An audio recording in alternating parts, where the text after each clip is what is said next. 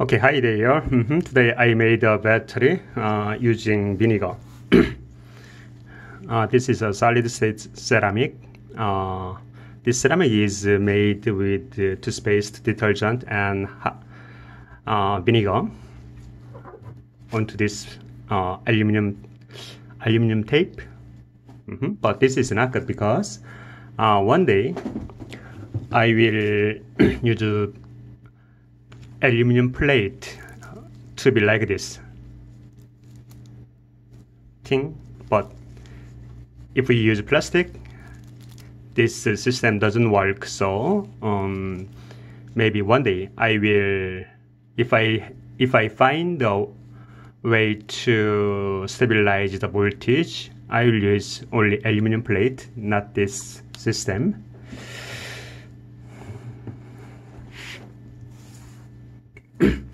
Uh, by the way, toothpaste and toothpaste, detergent, and vinegar reaction is very vigorous. It was really interesting. Okay.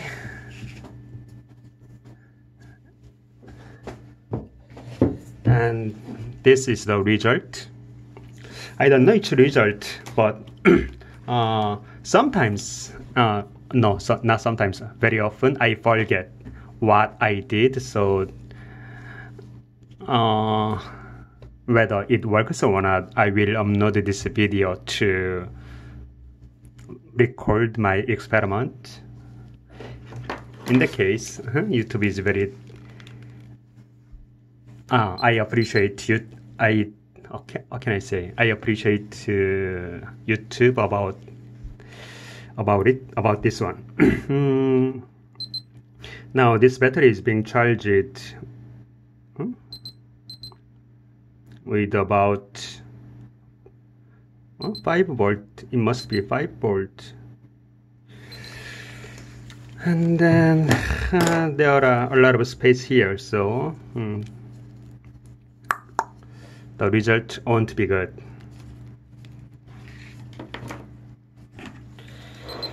And then then then then then then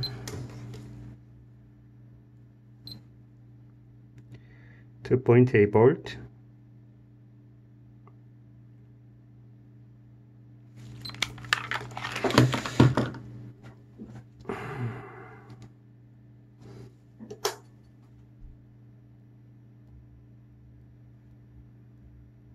Hmm, vinegar works. I wonder at, uh, if ethanol is be uh, between ethanol and vinegar, which is better. Maybe. we can make this ceramic by mixing, by blending ethanol and vinegar. Maybe it might be possible. Oh, one thing is important.